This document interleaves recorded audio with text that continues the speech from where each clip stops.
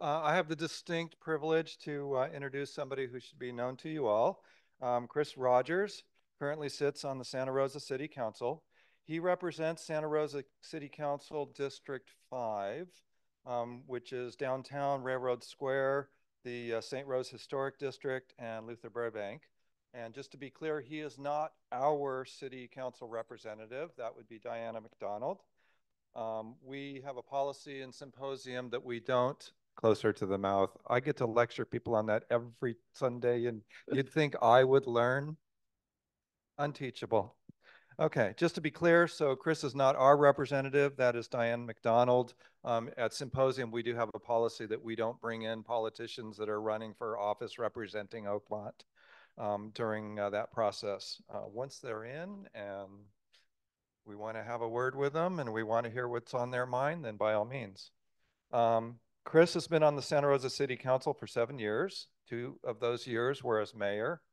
Um, Chris is currently running for Jim Wood's seat in the California State Assembly. Jim Wood used to represent us. We're now in Damon Connolly's uh, district. So District 2, where uh, Chris is running, is part of Sonoma and Humboldt counties. Um, in the recent primaries, Chris came through as a leading candidate uh, for that seat, um, being vacated by uh, Jim Wood, and we certainly wish him luck in November. Okay. Um, before all of this, Chris was a campaign manager and then a senior staff for Senator Mike McGuire. He worked for Mike McGuire and other legislatures, legislators in the California state government for about a decade. So he knows the ropes when it comes to anything uh, political. And uh, we're also um, very pleased that he's speaking to us today without accepting the honorarium that Sunday Symposium usually gives to our speakers. So please welcome Chris Rogers.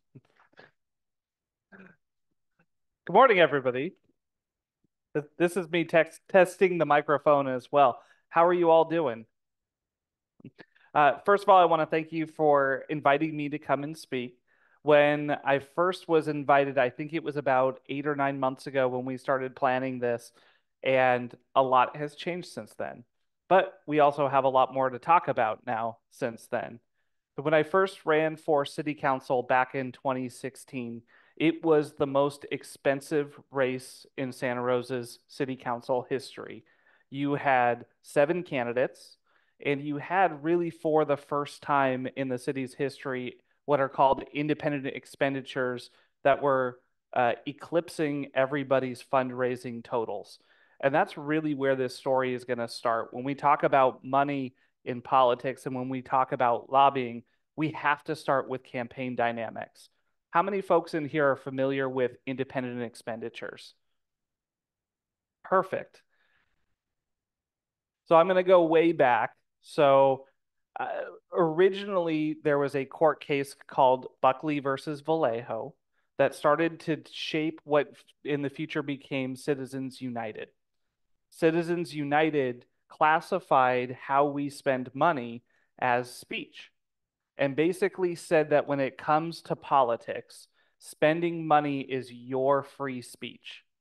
And therefore, putting limits on how much of your money you can spend would be an infringement on the First Amendment. It was a terrible decision. Uh, and it has continued to play out since then. I think it's now been, uh, it was under Barack Obama's tenure. So I think it was 2009, 2010 when the Citizens United decision came down. But we've seen it have a corrosive impact on our elections uh, from the presidential election all the way down to your city council races. So right now in Santa Rosa, your city council candidates, they have a limit of how much money they can accept from any individual or from any organization. It's $500. $500 is still quite a bit, but it's something that's at least attainable. And when you run a campaign, the more people that you talk to, $50 donations, $100 donations, that all leads to you being able to buy lawn signs, send mail pieces, and get your message out. What's happened under Citizens United is you've had what are called independent expenditures that have popped up. Literally, so long as a group does not coordinate with the candidate, they can spend whatever dollars they want. And in 2016, we had our biggest independent expenditure in the history of Santa Rosa pop up. It was $300,000 from one individual. Uh, that individual, uh, Bill Gallaher, has continued to play in elections across Sonoma County and now across Northern California. And I'll tell you, I was the candidate that was knocking on doors. We walked Oakmont three times because if you want votes in Santa Rosa, you knock doors in Oakmont. Am I right? We knocked on 20,000 doors and we won. We weren't expected to, we weren't supposed to, especially with that much money coming in. It was a $300,000 independent expenditure and $100,000 pretty much for each of the other candidates versus our $30,000 we raised plus door knocking. And that's really where this story was supposed to start when we first started planning this. The ability of active campaigners, the ability for folks to raise enough money, but work hard, and then voters being able to see through that. Uh, what we have typically seen from jurisdictions is a focus on what are called sunshine laws. Because we can't do anything to prevent the independent expenditures, usually we are focused on new disclosures so that at least you as voters can make informed decisions about why an individual or an organization thinks that they need to have an outsized influence on our elections. If, if I can only donate $500, but somebody else is willing to put in $50,000, the public deserves to know what that person's interest is in the jurisdiction that they're representing. It's a pretty simple concept, but it's hard to implement. Then, about six months ago, Jim Wood announced that he wasn't running for reelection to the state assembly. Uh, my wife and I, we've got our first child on the way, due May 25th. I, I came home. I said to her, I said, we do not have to do this. What do you think? And we looked at the field and decided that we needed to do it. Uh, the other two main candidates, one was an extremely wealthy individual who could self finance their own campaign. And in fact, they ended up putting in $500,000 of their own family money into the race. You also had the chairman of the California Democratic Party who moved into the district to run had no real connection, had not gone through wildfires, had not gone through a pandemic, had not gone through flooding or any other disasters Sonoma County had. We thought this is really important. We should do this. And as I started to go over to Sacramento and talk to folks about the campaign, the first question they always asked was, Well, how are you going to win? They're going to have way more money than you can raise. And I'll be honest, I don't come from money. I most of the things I've done on city council have been to help people who are poor, who aren't going to donate to campaigns. And I told them, I said, we can break through by having strong candidates who knock on doors, who have community support, and who can raise enough money, even if you don't have the most money. We don't know the outcome of the race yet. Uh, it is between myself and the chairman of the Democratic Party, still too close to call. We're up by 2,500 votes. We'll know more next week. But what we do know is we were outspent eight to one by the other candidates. So the fact that it's even this close proves that theory that that money and that disclosures really is impactful and important. And all of this leads into how this impacts our government because that outsized influence of money didn't just come from donations that were to individual candidates. And at the state level, your donation limit is $5,500, much higher than the 500. It's really hard to find people who would be willing to donate $5,500, uh, but there are some of those out there. We had about 600 individuals donate. We raised about $325,000. And you had four groups that did independent expenditures that wiped out the voice of over 600 people. You had 150,000 came in from the Dental Association. You had 100,000 come in from the California Association of Realtors. You had 50,000 come in from Bill Gallaher. When you think about the outsized influence that these groups have on selecting who their representatives are going to be, it's a significant challenge for our democracy. You lose local voices in that process.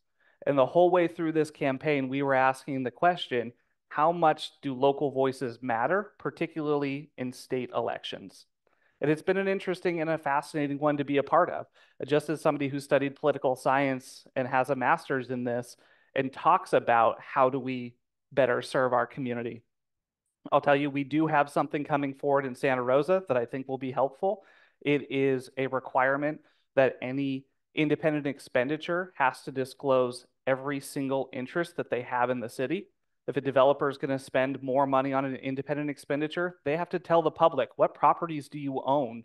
Where do you expect to be getting this influence paid back if that's the way that they're looking at it? But how do we make sure that the public has that information to make an informed decision is really important. I know you had slides that were going in the beginning that showed how much money is being spent on lobbying. It's an all time high. And in fact, last year, $4.2 billion was spent to lobby the federal government alone. That's because we see, particularly with the Inflation Reduction Act or the Jobs and Infrastructure Act, not only are they complex laws that take some help for people to navigate, the city of Santa Rosa, for instance, has a lobbyist that we pay. What do we expect our lobbyists to fight for? Santa Rosa to be able to get some of that money, right? Some of that's just a better understanding. But I think when our elections become entwined with lobbying, that's when you really start to wonder about how are we not just having good intentioned laws put in place, but looking at the organizations that are spending a ton of money to get the right folks into office. And that doesn't mean, I always get this question from folks, that doesn't mean that I think that most politicians are changing their worldview based on who is donating. I think that the flip side of that is far more powerful. When you see an open seat and you see, for instance, the realtors spending $100,000 against a candidate, you can be pretty sure that what the realtor's interests are isn't aligned with that candidate. And they don't have to disclose which candidate they're necessarily helping. They can only just tell you which candidate they don't like. When you see health industry getting involved, and when you see private for profit health insurers donating to a candidate, you can be reasonably sure that that candidate doesn't support a single payer healthcare system because that is contrary to the interests of the folks who are putting in money. But it's important for us to know that, to have that highlighted. And one of the things that has started to emerge along with independent expenditures is we refer to it as dark money, where an individual or a group will give money to another group that then gives money to another group. And then that group is disclosed as something that you probably don't know what it is Friends of Oakmont or Oakmont voters for such and such candidate. That doesn't tell the public anything about that person's interests or why they are spending as much money as they are. Uh, and so we really need to focus on sunshine laws there will also be a conversation about eliminating contribution limits. As much as folks have been supportive of limiting dollars in campaigns, there's really not a strong public policy argument why a candidate should be limited in how much money they can raise and spend if outside groups that have far less disclosure and far less exposure to the public doesn't have those same limits in place.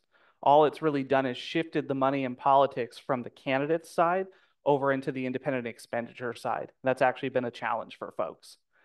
What we do expect to see over the next couple of years, particularly as those dollars that I mentioned, the Inflation Reduction Act and the Jobs and Infrastructure Act, uh, starts to expire, is that the amount of money being spent in lobbying will go down but the amount of money being spent to elect other people will continue to go up.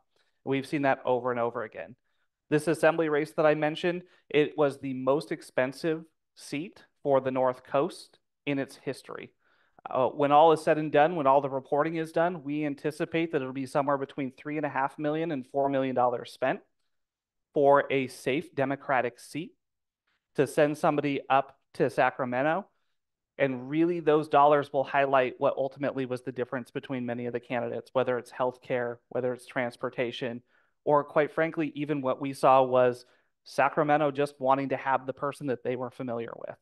Uh, even when their local organizations were telling them to go with a different candidate. That actually happened about six or seven different times where the local branches of organizations supported one candidate and then the Sacramento branches supported a different candidate. Uh, your what that means for you, particularly as you start to look at your elections, get out and knock on doors. Make sure you do your research about candidates. If you have not had an opportunity to meet a candidate, try to find an opportunity to meet a candidate. Most candidates do coffees, most candidates do public meetings. You can reach out, ask questions through email, via phone. And then we have a theory, and it seems at this point to be bearing out fairly well, that particularly in a low uh, turnout election, particularly in a primary, word of mouth matters. I'm sure every single one of you are the kind of person that has 10 friends that when the election pops up, they contact you and they say, okay, who are we voting for this year? Right? That matters. When you've seen somebody, when you've met them, when you know their ethics, uh, I think that all of that matters. But politics is not a spectator sport. If you want your candidates that you support to win, you need to get involved. You need to knock on doors. You need to text bank. You need to provide opportunities to try to help to make sure that that wins because otherwise what does happen is name ID wins. Uh, and when you have millions of dollars at your dispos- disposal, whether it's independent expenditures or your candidate accounts, that's going to flood the airwaves. It makes it really hard for candidates with less money to break through. Uh, I'll stop and pause there and start with questions to see where folks want to go with this. Uh, there's a lot to it, uh, but my top level message to you is exactly that. Just get involved. That when you want good laws to be passed, it starts in your elections. And to get good people elected, it takes a community to do that. Questions? I'm going to start with a comment. In 2017, Jane Mayer wrote a book called Dark Money, and the subtitle is the billionaires behind the rise of the radical right. Painful book, difficult to read, tons of detail. But what an investigative report it was. Dark Money 2017. Question over here. I just had a quick comment. It seems to me like ever since Citizens United came into effect, that that um, basically the politicians do what they were paid to do because they're that's where they're getting their money. Instead of them feeling like they were doing it they had to please us. They have to please the investors. And it just seems so backwards. Is that how how are we ever going to get rid of that? And is there a movement to change that yeah, I think one of the things that I'll tell you that is perhaps at least a little bit hopeful is I've seen pretty consistently since Citizens United that the matter the money only matters to a certain extent. That there is a diminishing return on how much money is spent, and then it does start to boomerang on a candidate where their name ID will go up, their polls will go up, and then at a certain point, we're all just kind of sick of hearing about them. Uh, and I'm sure that I'm seeing nodding heads, so I know I'm not the only one. When you're watching TV and it's the same ad over and over and over again, yes, you know the person, but do they endear themselves to you in that ad? The current data still says yes, that those people by and large still win elections, that you have examples where the David beats the Goliath, but it's the exception, not the rule. The rule is the person with the most money is probably going to win. And that's the way that it's sort of viewed.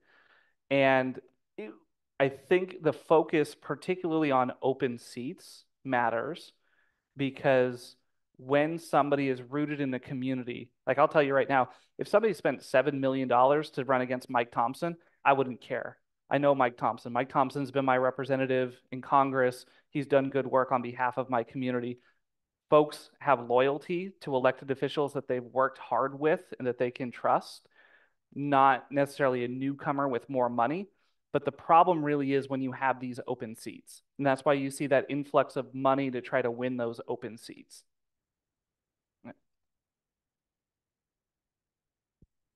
Um, most of us allocate a certain amount of money for charity every year.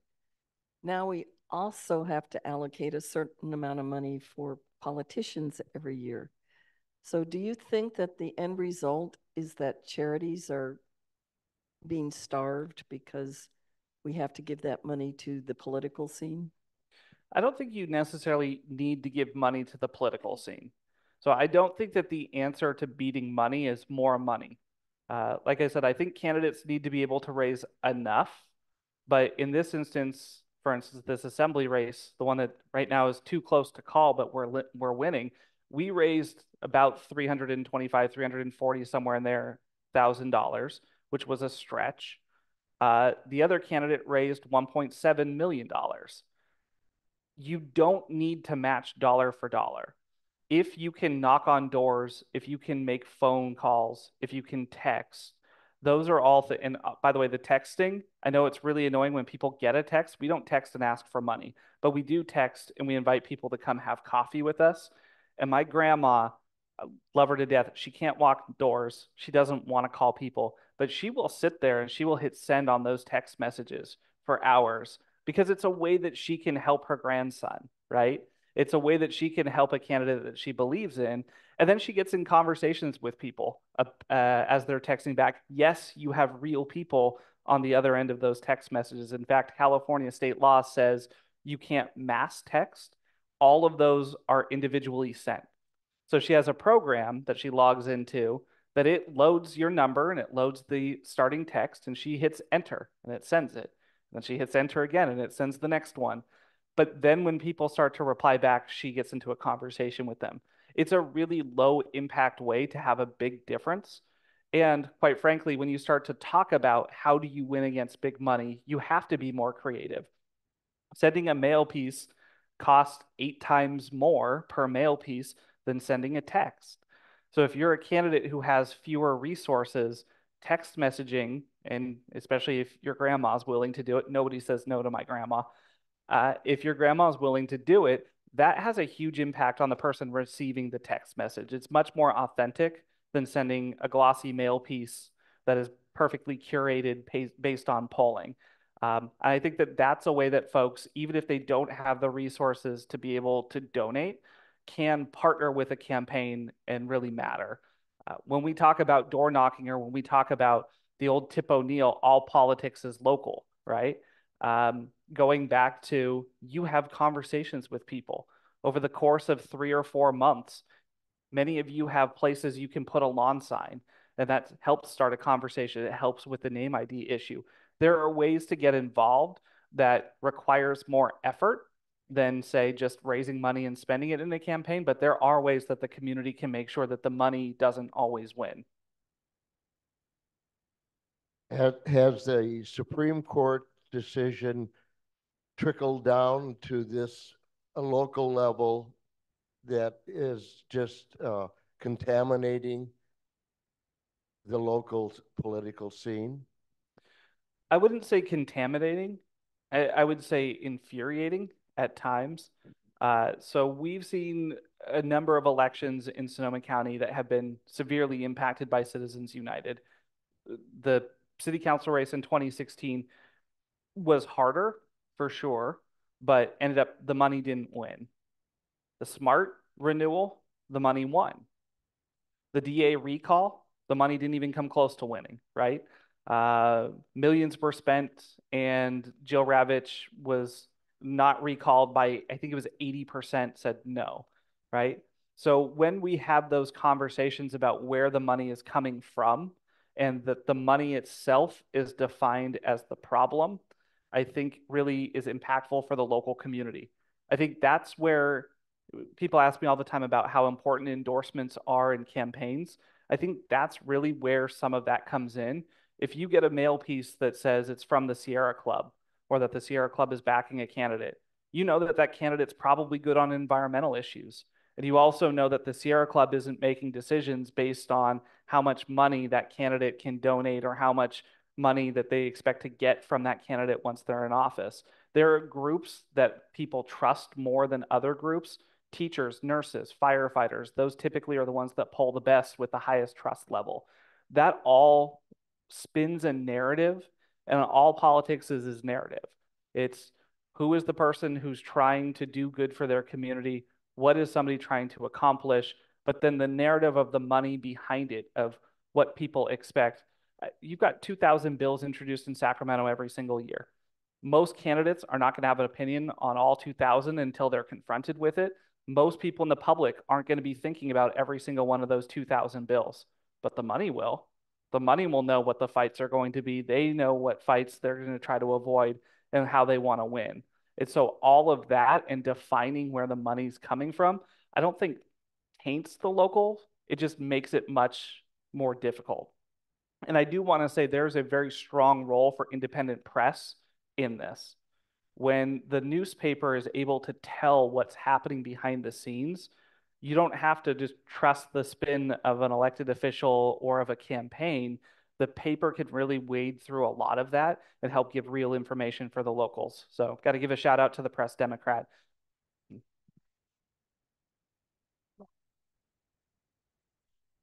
So it seems like the Citizens United uh, decision is the place where the ship got off keel. And so there are a couple of things um, I wanted to ask you about. One is there's a movement called Move to Amend. Yep. To amend uh, the Constitution so that that Citizens United is void. The other thing is there was a local bill in California, I believe, that was um, working to remove foreign investment from corporations. So if a corporation has foreign investors, that they no longer have the uh, the right to basically influence the elections because how many corporations do not have any foreign investors? So so that's another kind of path. Could you talk about those things? Yeah, absolutely. And Thank you. I, I'm really glad you brought that up because that's really the next layer down on the Citizens United discussion. I think the general public understands the corrosive impact of money in politics and the way that Citizens United has enhanced that. But really, what Citizens United did that is going to have the most lasting impact is it gave corporate personhood uh, the same rights as individuals, right? Uh, and I actually have a friend that lives down in Marin County. He owns a business and he took his incorporation documents and put them in the passenger seat and then would drive the HOV lanes. And he got a ticket for violating the carpool lanes and he took it to court and he tried to argue that under Citizens United he had another passenger in his car. He lost, but it was sort of uh, highlighted how ridiculous the idea that a corporation is an individual and has the same constitutional protections is as an individual. So, yes, big supporter of move to amend, but it is going to take a uh, constitutional amendment to really get a handle on it. And one of the challenges is, I think, it, whether it's big corporations, whether it's unions, whether it's other groups that necessarily don't agree with each other on policy, they've made this work. They're the big spenders. They're the ones who many of those groups don't want to have to spend that much money. But the fact that they can and the fact that that's what typically wins elections means it'll be much harder to get consensus across two thirds of the states to be able to amend the Constitution. Uh, I think in the short term, more disclosures, whether it's instantaneous disclosures in independent expenditures. Right now, uh, depending on when they donate, it's either 24 hours that they have to disclose or 48 hours.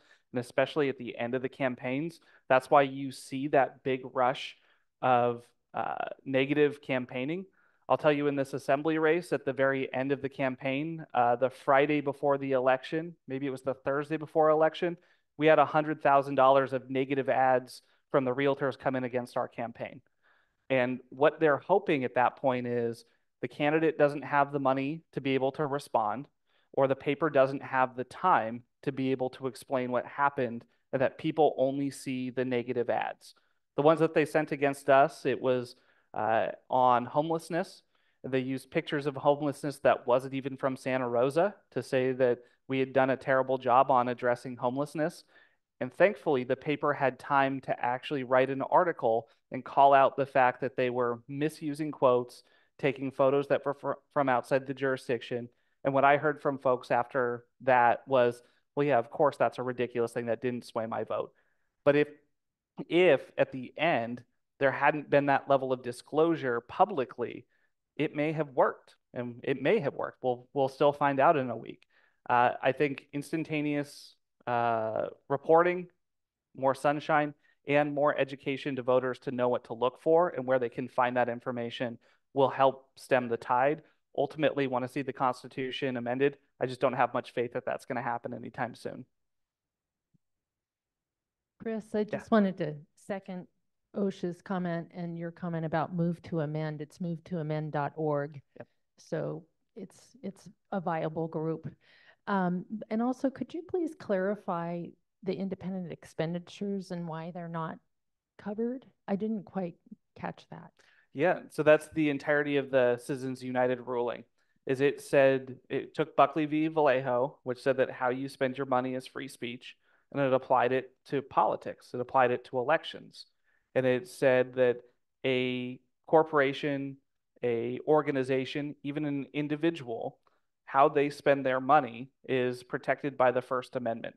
So, so long as they are not coordinating directly with the campaign, so long as they don't tell the campaign what they're going to say, how they're going to say it, when they're going to say it, all of those things, they can do whatever they want. It's the way that this works over uh, in the federal government and on the, the Sacramento side is typically you have a consultant who is hired by an organization or group, say the realtors, uh, are we're doing this, that consultant is a different consultant than the one who's working on the campaign for an individual. They're not talking, but certainly there's keys, right? They can do polling. Many of them do their own polling to see what's resonating and what's not, how to attack somebody and how not. There's they can take any public access photo. Uh, they can look at the messaging from a candidate. It's pretty easy if a candidate is being repetitious with their uh, with with their messaging, it's pretty easy for the independent expenditure to pick that up and run with it also. So they don't necessarily need to coordinate to be able to help. And so long as they're not coordinating, Citizens United says they can spend whatever they want. Uh, you mentioned the positive role of independent press when it's somebody like the Press Democrat with integrity and yep. and caliber what's the role of money with press that isn't of that? Well, I, if I'm being cynical here, and, and, and I can be from time to time, having worked in politics since I was 18, I think that that's why Trump and many on the right are so quick to attack the press. Because if you undermine the credibility of press, then that means that the money that's being spent, which a lot of it is on the conservative side, uh, has just as much gravitas or just as much sway with the public as a publication does. That's if I'm being cynical, I'd argue that that's the case. I have a question about how best to donate money. My gut feeling has always been that if you donate nationally, the national people can decide who needs it the most. Is if, as a local candidate, do you have access to national money? No. So typically, what will happen is you've got a national Democratic Party, you have a state Democratic Party, you also have a county level Democratic Party. So the Sonoma County Democratic Party uh, has representatives from every single one of the supervisorial districts. So you've got five people representing District 1, where you are located, that make the case for which priority races the Democratic Party should endorse in and be interested in, whether it's local donations, walking, whatever have you, that, that time and that focus. So depending on which level you're donating to is how they'll focus it. Then you also have the caucuses. So you have the Senate Democratic Caucus, for instance, that now Senator Mike McGuire is the head of as the pro tem. You have the Assembly Democratic Caucus they all are looking at all of their individual seats and choosing which are the priority state senate seats that they need to be competing in or the priority state assembly ones. So depending on where you donate is where a lot of that focus will go. There is a huge focus on congressional seats. Uh, that's for obvious reasons, but you'll also have folks like Congressman Mike Thompson that will adopt a swing district every election where he'll invite people to donate money to that candidate or to go over and walk or support that candidate because he's in a safe Democratic seat. But to be able to get anything done in Congress, he needs a majority of Democrats. So it does benefit us for him to help elect other people. So there's many different avenues depending on what your interest is. Um, me personally, I usually donate at the state level, but then invest my time knocking on doors, making phone calls here at the local level. I'm going to segue a little bit. Yep. Uh, assuming you get elected, uh, you will find yourself in a world where there are a lot of uh, organizations that are part of the state organization. Okay. And understanding as an individual, if I have a question that needs to be answered by them, I don't know how to do that. Funny thing, there are lobbyists who do. Okay. So, how do I find out how to actually access information from a state agency? It's a great question, and it's actually one of the vital functions of a legislative office. So right now, your assembly member, Damon Connolly, and your senator, Mike McGuire, they both have staff members that are specialists in navigating that process, whether it's the franchise tax board, the DMV, uh, whatever agency you have, they have direct liaisons that they can work with. So if you as a constituent have an issue or have a question, you can contact their local office and then they will work with their liaison to get you the information that you need or to help you if you're having an issue. Uh, it's one of the primary functions of a legislative office that we don't talk enough about is actually making the state's bureaucracy work for you and making sure that you have the same level of access to it as say a lobbyist out of Sacramento. Getting back to Citizens United for a moment, that was uh, done in 2010. And in the majority opinion, the uh, conservative Justice Antonin Scalia said, although he thought that there should be no limits on donations, the public had a right to know who was making the donation. And therefore, sunshine laws that don't fully explore those three or so groups that hide the money, uh, they should be more focused on getting that done. And also, uh, in addition to move to amend, there was a professor of political science at Berkeley. His name is Aaron uh, Belkin. He was the head of PAC the Court. And when asked, well, so if the Democrats are able to get four more justices on the Supreme Court. And then when the Republicans get both the Senate and the presidency, and then they add an additional four, and then it goes back and forth. He said, well, eventually it would stop. But that is a quicker way to get um, the uh, Citizens United uh, case reversed and other things like the John Lewis bill for voting rights across the country. Uh, so all we need is to get a couple of extra seats in the Senate and retain the presidency, and we can see some changes positively well ahead of anything else. 38 states have to uh, change the Constitution or vote to change the Constitution. That is a very steep climb at this point. Yeah. Yeah, I, I mean, I, I think I'm open to pretty much anything that's going to help fix the problem. Uh, one of the things with Citizens United that has been really interesting to see is you do have states that have done better disclosure laws. California, for instance, when you have one of those independent expenditure mail pieces come in, it does have to list who the top contributors are.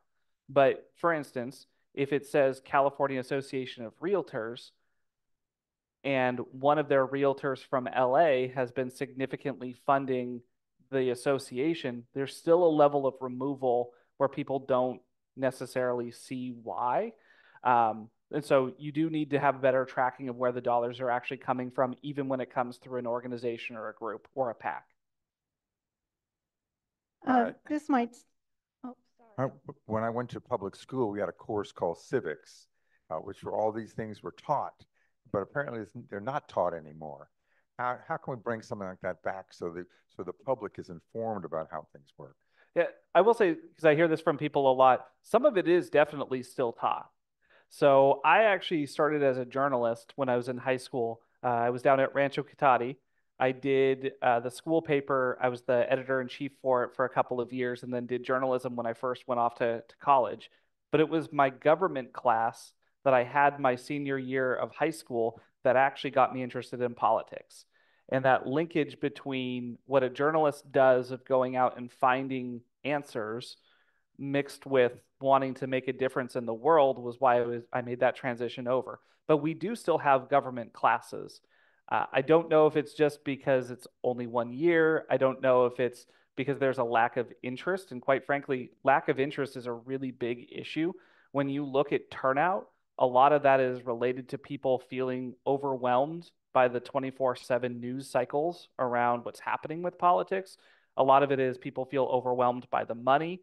I don't know if you solve that piece of the problem by having longer classes or more classes focused on civics. I think you certainly can add them. There's certainly a lot that I didn't know until I went off to college. Um, but uh, we still do have civics classes. It's just a question of how much that sticks and how people stay interested. Uh, and I will say it's not just young people. I know young people get blamed all the time because they vote at a lower rate. Uh, that is true. But if you look at the voting rates across all age groups, you still have a huge difference between your primaries and your, or excuse me, your gubernatorials and your presidentials, your primaries and your generals. Not everybody votes every single uh, election. And part of that is people just don't have as much interest sometimes. Uh, we actually look at that when we're projecting turnout for an election is what other interesting things are on the ballot that will get people to show up and vote. And I'll tell you, this primary, the turnout's going to end up around 50%, it looks like, when all of the ballots are counted.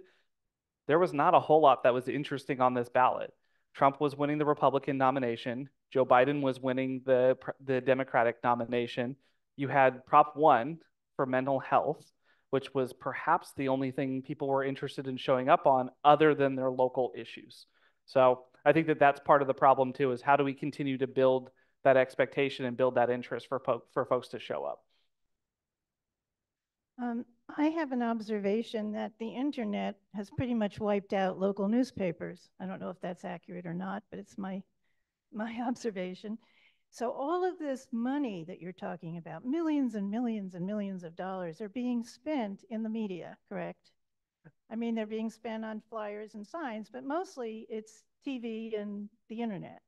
So um, we have Fox News here, and I don't think we would have had this same kind of um, dis disparity between the media stations as we have. We haven't had that in the past. We've got it now, though. And isn't all that money going into the media? And isn't the media becoming more and more radicalized? So, and it's good to remember Fox News was created specifically to make sure that Nixon's resignation never had to happen again. That's what Roger Stone created Fox News for was to have that counterbalance to make sure that there was that conservative voice that was there. So you're right in a lot of ways. Uh, where do most people in here get your news? Computer. So I heard I heard an MSNBC, I heard a Press Democrat. Press Democrat.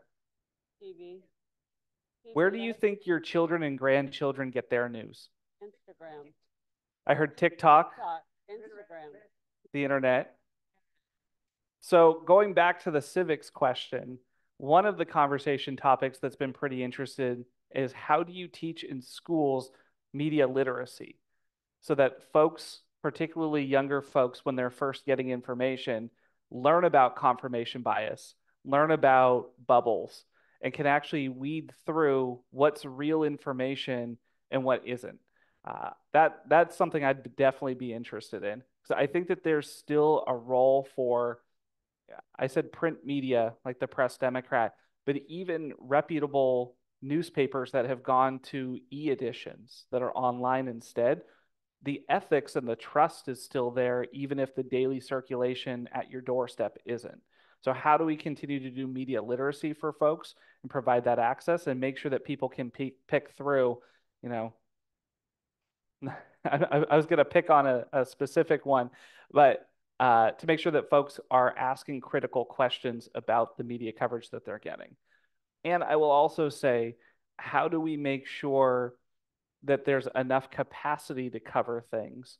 Uh, because we do know it costs money for folks. You're in an AI generation where people have blogs being churned out on topics versus having a reporter who is dedicated, who can dig in and have historical context and weed through the message people are trying to convey versus what's real. That takes money. That takes an actual person to do that. Chris, um, what happens when a candidate like Katie Porter leaves the scene? Does she get money later on if she wants to run again? Is she just kind of goodbye? And uh, does any money um, from either the state or any other funds get to her after they have lost the election, but they may run again for another for the election in four years? What happens? What happens to that? I think she qualifies for unemployment. I know, I know. But this is the other critical piece when we talk about money and lobbying is these folks have connections. And I was joking with somebody before. There's a really famous uh, story about uh, a gentleman wanting to hire a lobbyist. He walks in the office, and the lobbyist says, "I can get that done for ten thousand dollars." The person says, "Great," signs the paper, picks up the phone, makes a phone call, sets it down, and goes, "Okay, you're good." And the guy says, "I paid you ten thousand dollars to make a phone call." He says, No, you paid me $10,000 because they took my phone call. There are pretty substantial revolving door policies that need to be strengthened. Uh, for me, for instance, when I'm done on the Santa Rosa City Council, I can't lobby the city for a year. Uh, even if I was to take another job that needed, that had interests in front of Santa Rosa, I wouldn't be able to do that for a year or I'd have to be in the back end and have somebody else having the, the conversations with council members or other folks that I would have developed relationships with as a council member. That's a good thing. Uh, it needs to be longer than a year. And the state has the same laws in place, the federal government has the same laws in place. We actually are in the process in Santa Rosa of updating our lobbyist ordinance. Uh, we were just talking about it at our open government task force a week or so ago. Uh, one of the things that we don't allow is for people who are not registered as lobbyists to lobby council members on specific issues unless they disclose it. That way the public knows who is trying to influence a decision. But we don't have the same requirement if they are lobbying our staff who are making recommendations, doing their staff reports, oftentimes are moving projects through the way. So we're, we're going to add that. So what do uh, let's call them re retired or recovering politicians do after they lose a race? The answer is whatever they were doing before they got into elected office or something else of similar interest. Uh, I can tell you right now, I have a master's in public administration. If I was not on the city council and if I was not running for the state assembly, I'd go off and I'd be a city manager somewhere because I love the local government process. So that's what I would do. I don't know what Katie Porter does. Maybe she goes back to teaching. I just, yeah, so this is a, uh, I guess, a basic civics class question. Uh, lobbyists are uh, in the process. They have been forever. They will be forever, but there are limitations on them. I mean, just asking you what you think about lobbyists. Yeah, I'm actually less critical of lobbyists, I think, uh, than a lot of folks. I, have worked with a lot of them I have a lot of friends who are lobbyists, but what it is for them is oftentimes it's expertise. And that's not necessarily a bad thing. Yes, we think of lobbyists as the people who are influencing bills and they're being paid to do that. So long as you know what somebody's bend is, you understand how they're trying to manipulate the process. But especially when we have term limits in Sacramento, many of the folks who are working in an industry, whether good or bad, uh, whether it's an industry we agree with or disagree with, they oftentimes have a lot more expertise and a lot more historical context than the individuals who are casting a ballot or casting a vote and making a decision. Uh, do I want the lobbyist making the decision? No. But do I think that there's still value in hearing that perspective and then weighing it against other perspectives? Sure. Uh, lobbyists have been a part of the process for a long time. Uh, and most of the time, we're thinking of lobbyists as folks like, you know, Chevron's representative. But we also have folks like the Infant Development Association that they too have a lobbyist who's there to represent the interests of children uh, particularly our developmental population that typically doesn't have a voice. So I think so long as your elected official is able to weigh those individual voices, I don't think it's necessarily a bad thing to have lobbyists involved. You just can't have them running the process. So Rachel Bitecofer just wrote a new book on democratic messaging or what they should be doing. Yeah, we're terrible at it. Yeah, and she tells you how to fix it. Uh, one of her points is that there aren't as many undecided as people think there are. I mean, if you're undecided between Trump and Biden, it means you don't have enough information. And her point was that it's the low information voters that actually determine elections. What do you think that's true? And what do you think about low information voters?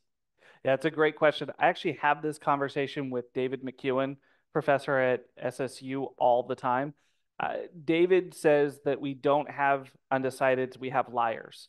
That's the that's the way that he views it. Is that even if you are declined to state, even if you are not a Democrat or a Republican, you might have some issues that pull you back and forth. But by and large, most of the population votes the same party most of the time.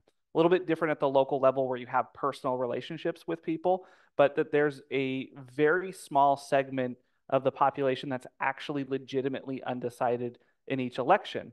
And so I actually would recommend if you ever have McCuan come and speak, he'll give you a breakdown of which counties, not which states, which counties are going to determine the next presidential election because those counties have the most people who are genuinely undecided.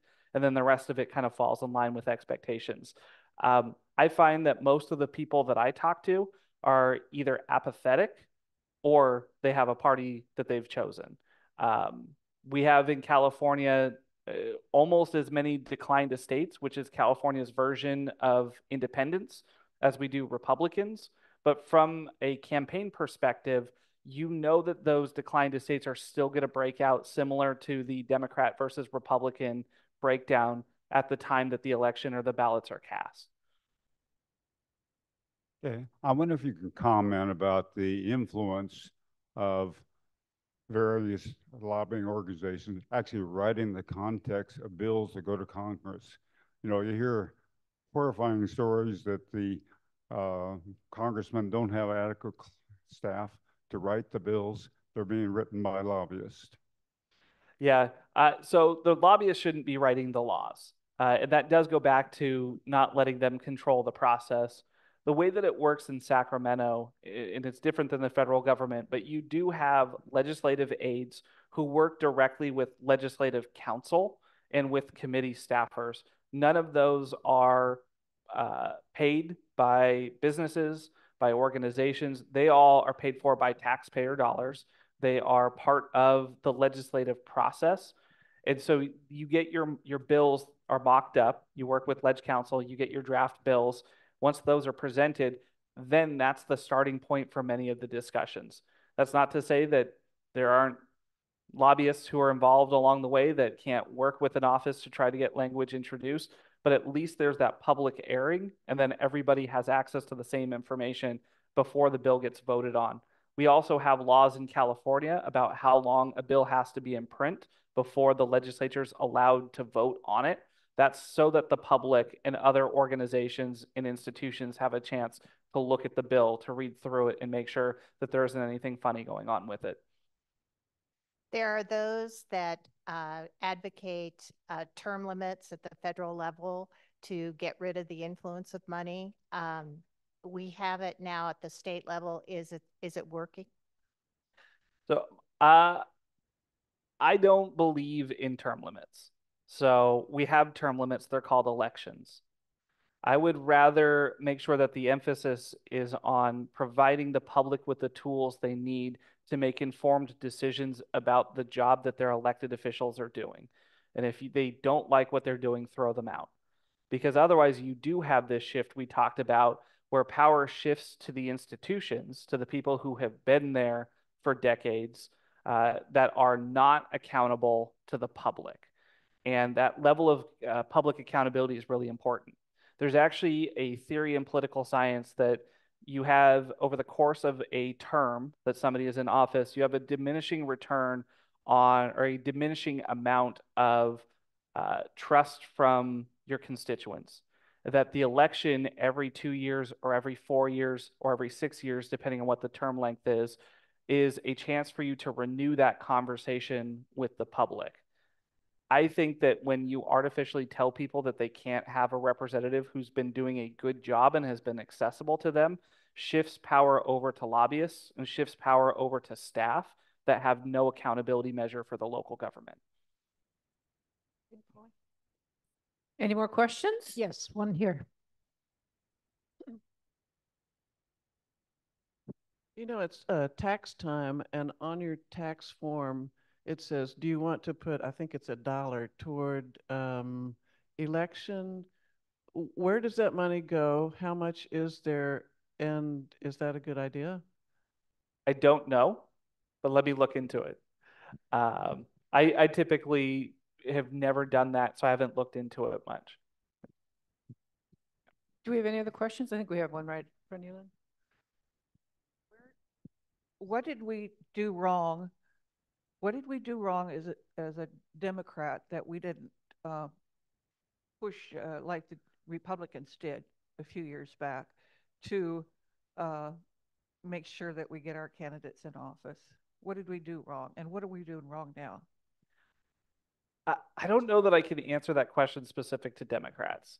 But what I can answer is from my perspective as an elected official, one of the things that I hear from folks consistently and I'll tell you with this assembly district, it goes from Highway 12 all the way up to Oregon.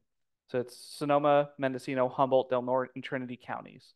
A lot of it is the area that people think of as the state of Jefferson that's ready to leave the state, right? Because they're so conservative that they hate the rest of liberal California.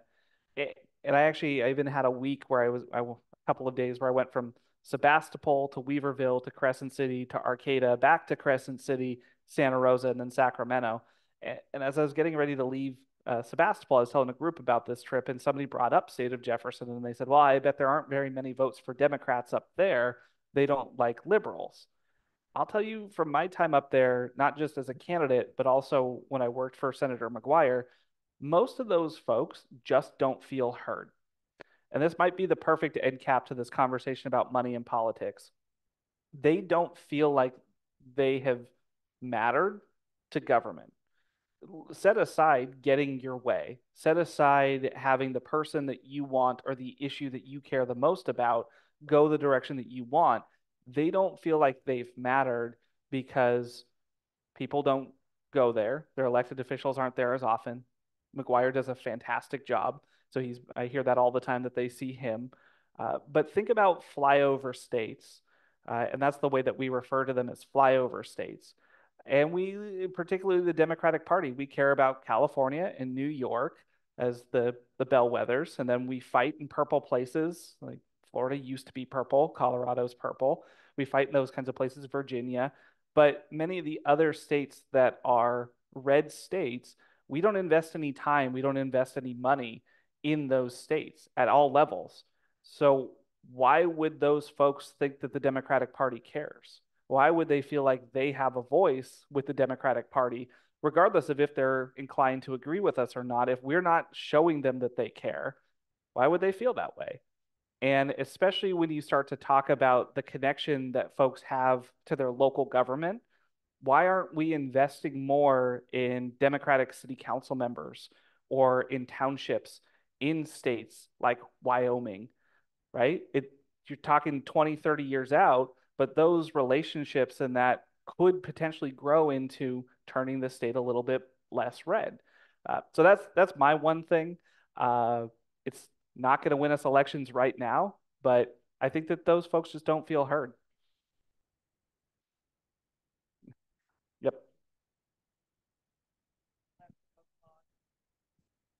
Yep. Uh, thank you. Uh, there's an organization here called uh, the Sisters in Sonoma. Her Sisters. Oh, th- I think there's two of them. I think, and then there's also Left of Oakmont, and we're writing postcards, and we're going to take, I think, uh, Pennsylvania, maybe Arizona, uh, and try to do calls to them. Yeah. So we're we're getting on our feet. So thank you. Well, then going back to the the question about framing and messaging from the Democratic Party, for me, it's also many of those folks, particularly in red states, are voting against their own interests. And so, better understanding about how we can talk to them about issues and the solutions that the Democratic Party has, uh, I think would be critical. And instead, what we see, particularly in the national media, is people being pit against other people. Uh, when we talk about universal health care, it's people are worried that they're going to be left waiting for a long time to have access to care when those same people that are worried that they're going to wait to have access to care have no access to care because they don't have health insurance, right? Uh, so I think listening to folks about what they need and providing solutions and showing them that they matter, I think could have a big impact. Uh, I, I'd like to reinforce uh, what you just were saying about local councils in terms of red states. I, I was listening in on the caucus for rural Michigan, where we uh, have a home, and of Democrats. And they were saying it, the way we handle the red counties is slowly, each time at the local level, we move the needle a little. Yep.